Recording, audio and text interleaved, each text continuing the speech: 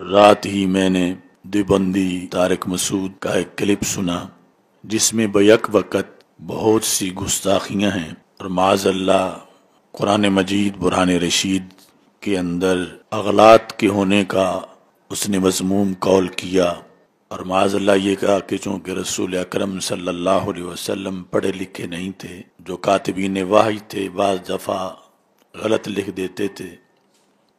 معاذ اللہ پھر رسول پاک صلی اللہ علیہ وسلم اس کی تصحیح نہیں کرواتے تھے۔ تو اسی طرح پھر وہ چیزیں آج تک قرآن مجید میں بقول اس کے معاذ اللہ موجود ہیں۔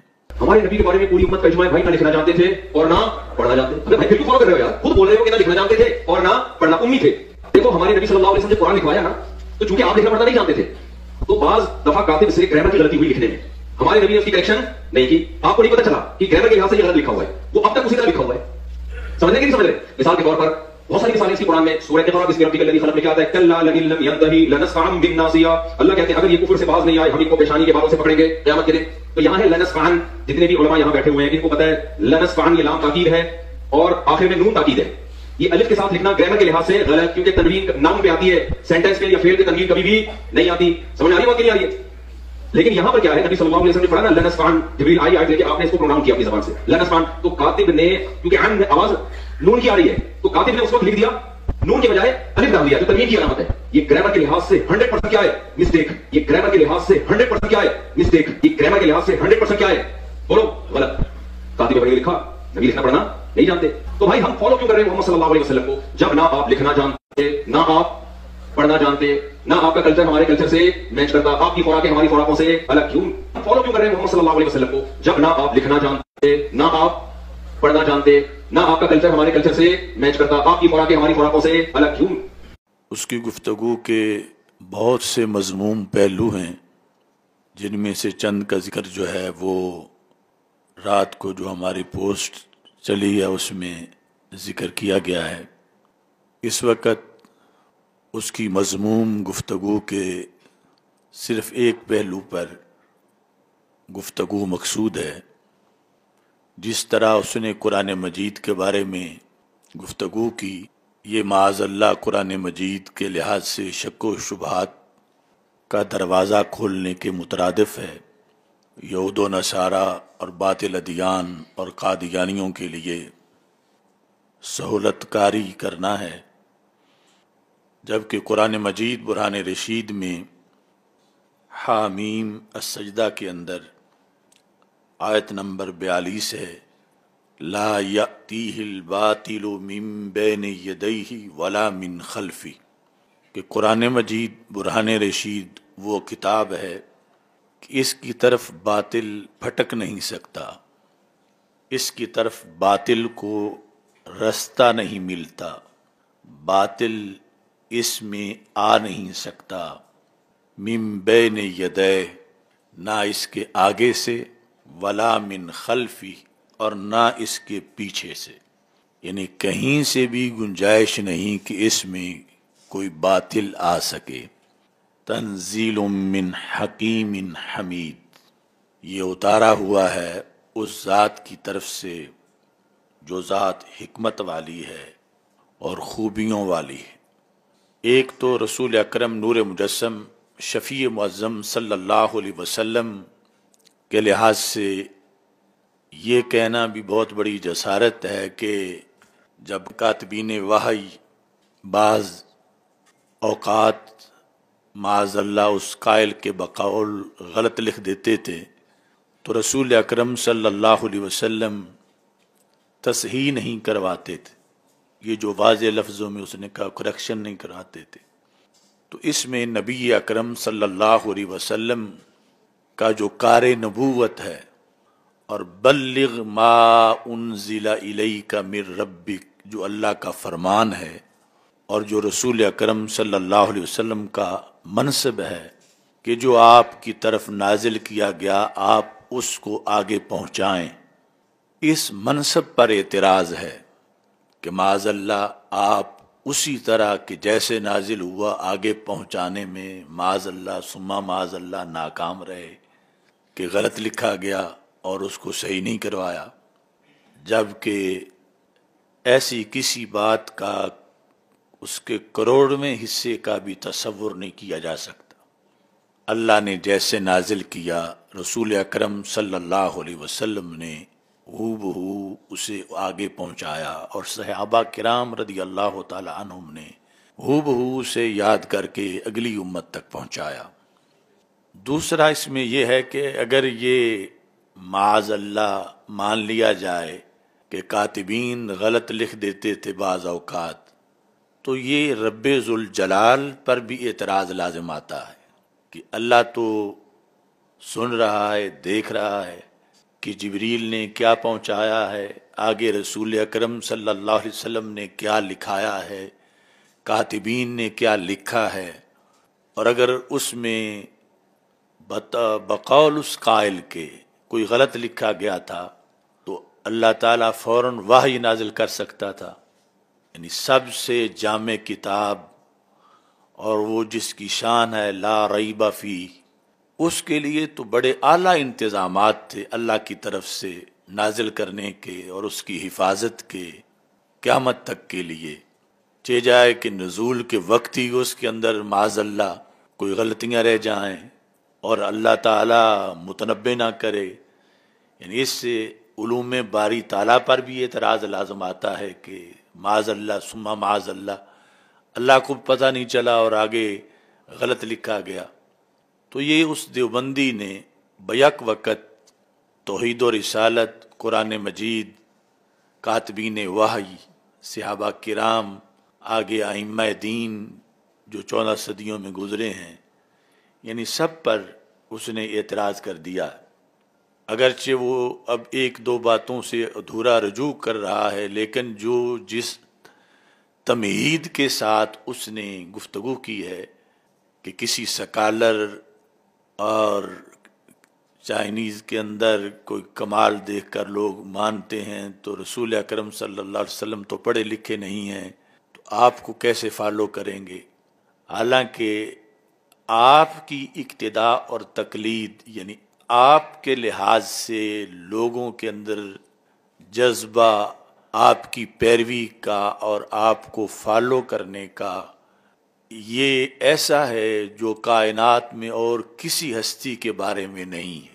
یعنی آپ کی ذات کا جمال، آپ کی تعلیمات کی بلندی، آپ کے علوم، آپ کا خلق۔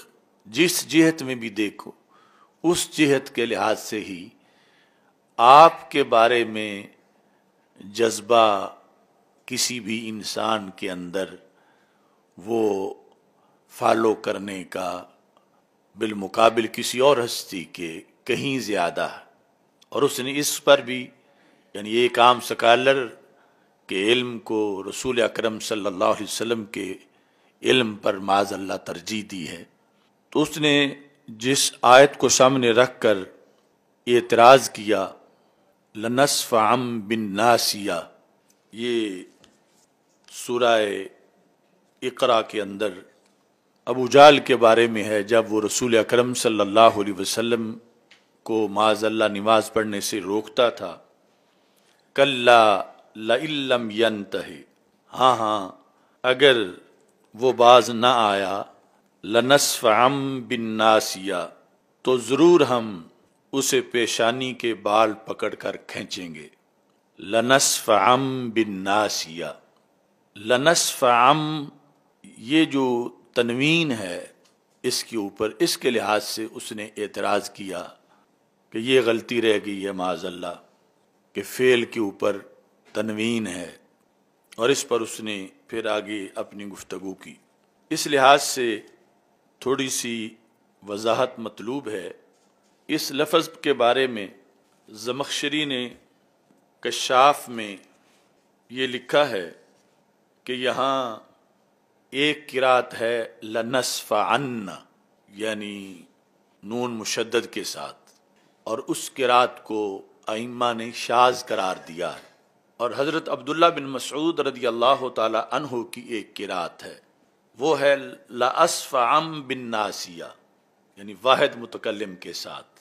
لیکن آخر میں وہ اسی طرح ہے، جس طرح لنصف ام بن ناسیہ تو یہاں جو جمہور کی کراط ہے، وہ ہے لنصف ام بن ناسیہ۔ لنصف ام بن ناسیہ میں آگے شیخ زادہ کے اندر جو حاشیہ ہے، بیضاوی شریف کا، اس میں یہ وضاحت ہے۔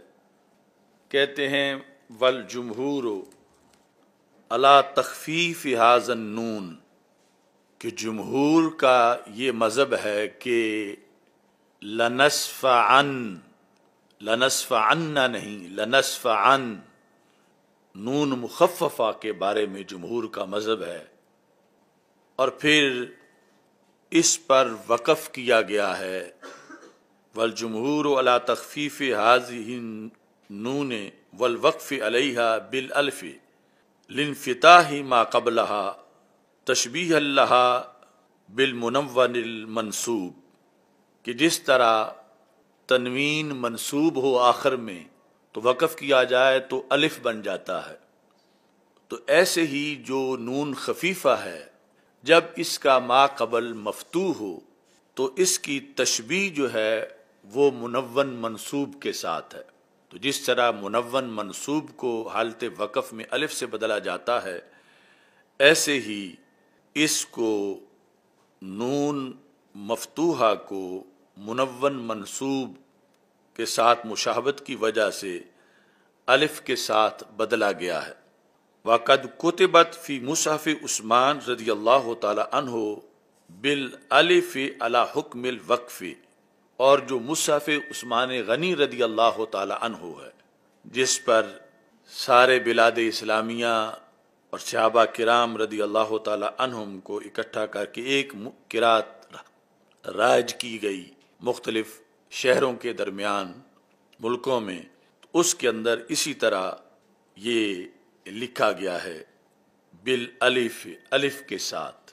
تو مطلب یہ بنا کہ یہاں پر یہ اعتراض بنتا ہی نہیں کہ آخر میں تنوین ہے۔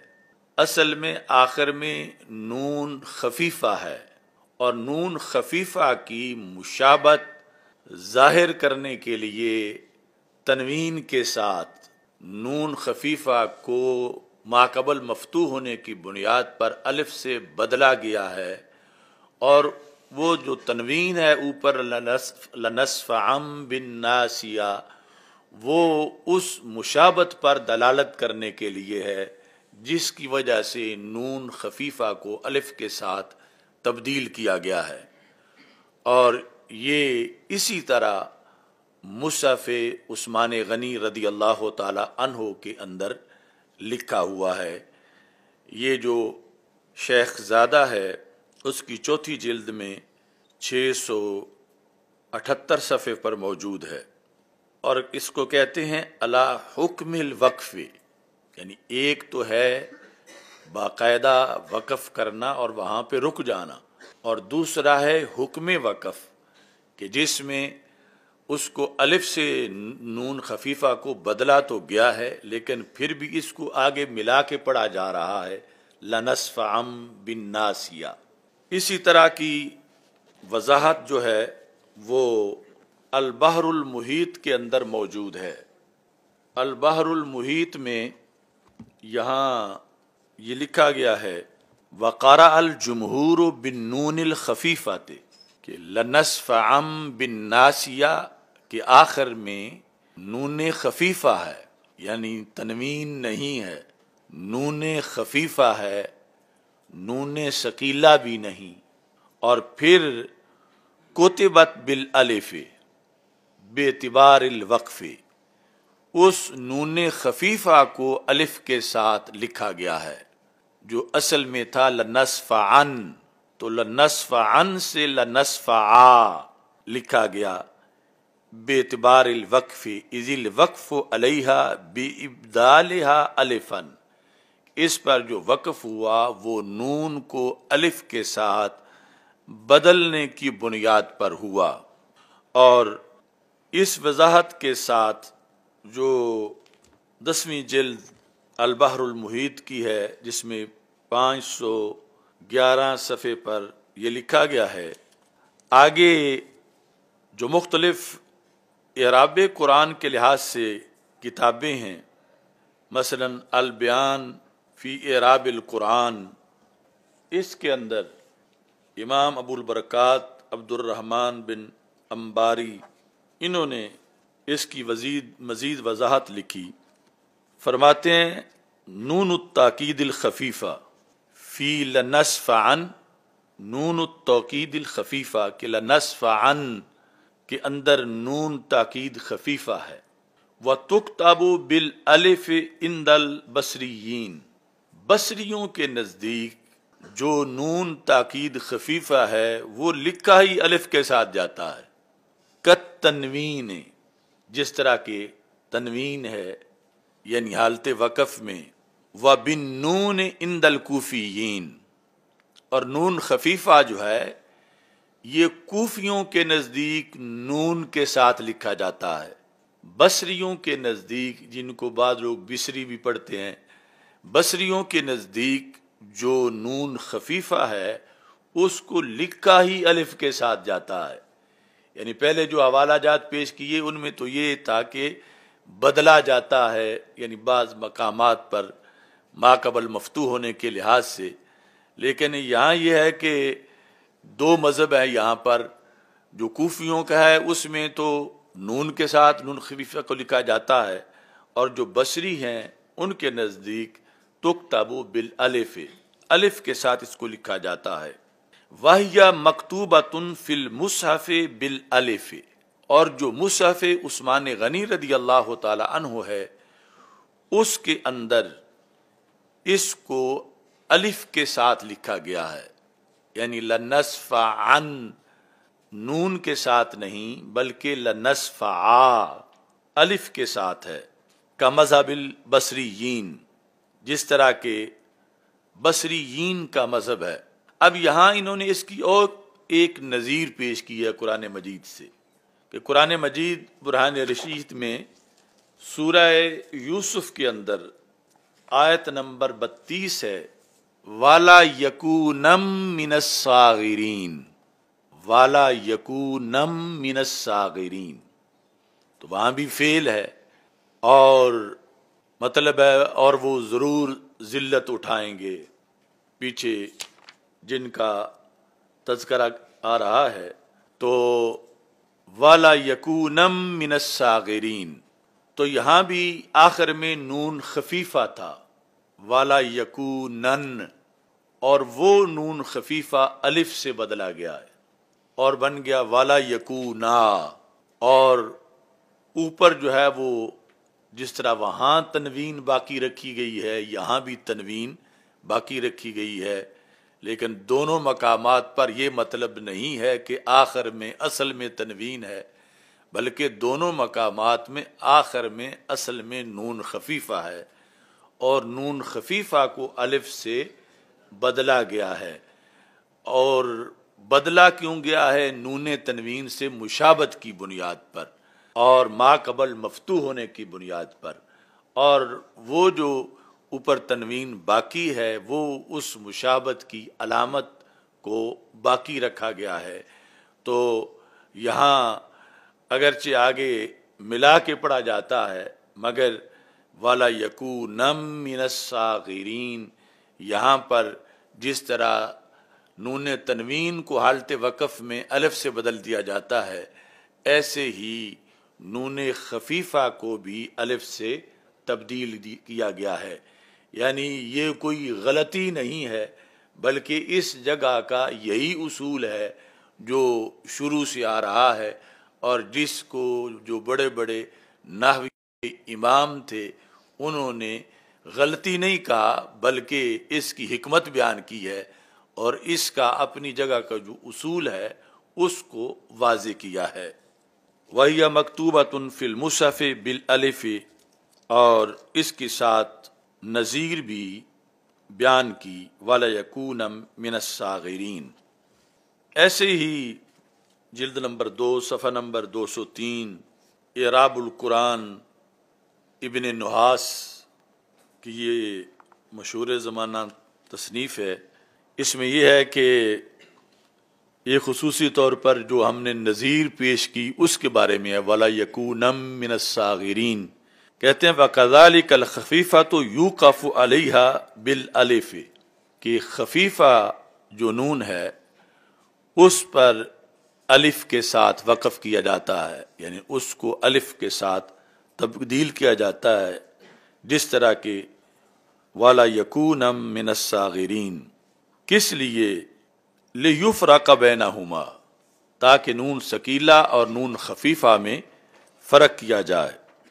کال ابو عبیدن یو کاف علیہ بال الف الف کے ساتھ اس پہ وقف کیا جاتا ہے لنحا اش بہات تنوین فی قول کا رئی تو راجولا کیونکہ اس کی مشابت جو ہے وہ تنوین کے ساتھ ہے، نون خفیفہ کی۔ تو اس لیے الف کے ساتھ اس کو تبدیل کیا جاتا ہے۔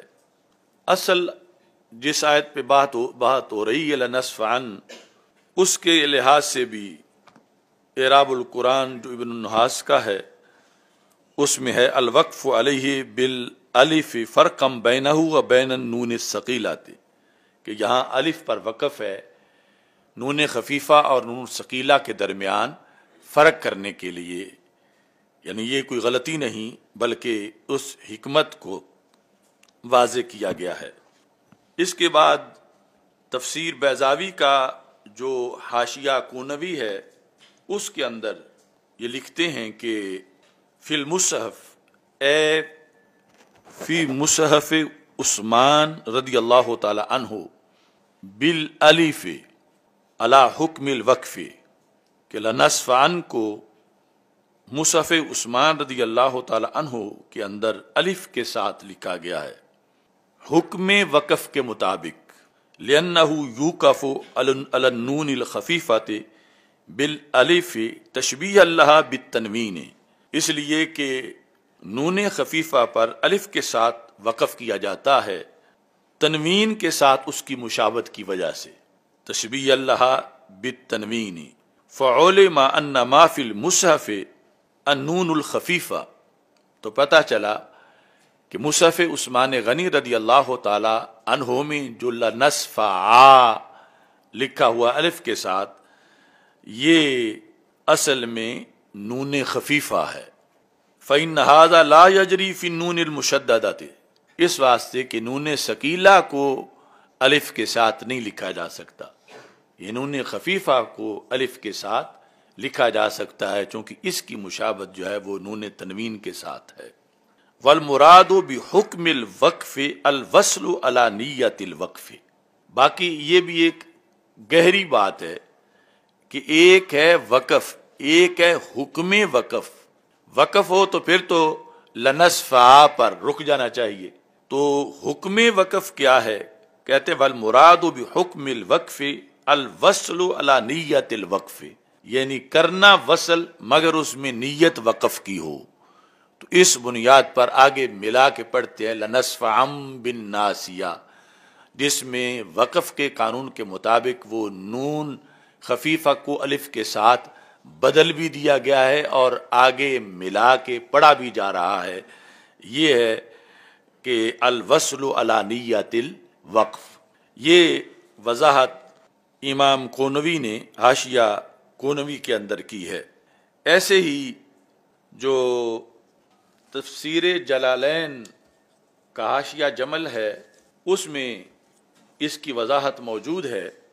کہتے ہیں کوتبت نون نصفا بال الف کہ لنصفا ان کا جو نون تھا، اس کو الف کے ساتھ لکھا گیا۔